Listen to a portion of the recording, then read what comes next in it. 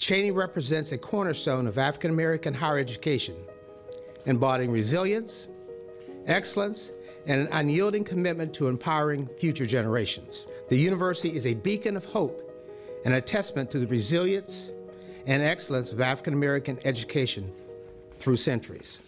In November of 2023, Cheyney University was placed on probationary status. Cheyney University is engaged in one of the most remarkable turnarounds in U.S. higher education.